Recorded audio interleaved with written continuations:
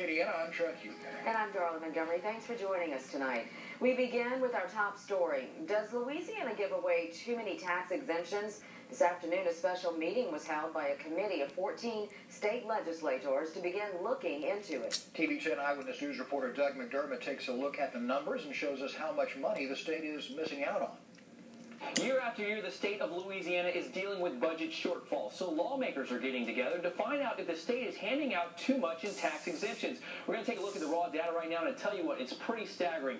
We're going to take a look at the two main tax groups here in Louisiana, the first being corporations.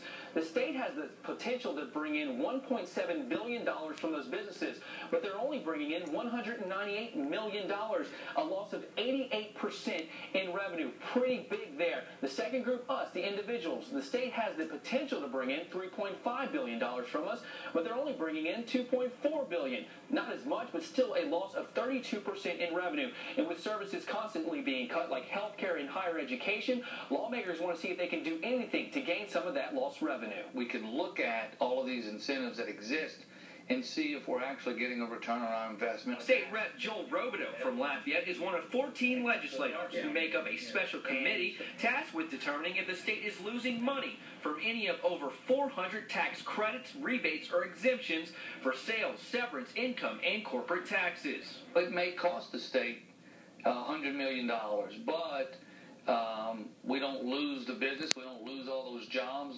Says in his almost 10 years in office, this is the first time the legislature will study the effectiveness of the tax breaks. Set what your standards are, what the goals you're trying to achieve, and then examine those goals on an ongoing basis. UL economics professor Anthony Greco feels evaluations should be done annually. As similar to old law, the exemptions may be outdated and fruitless.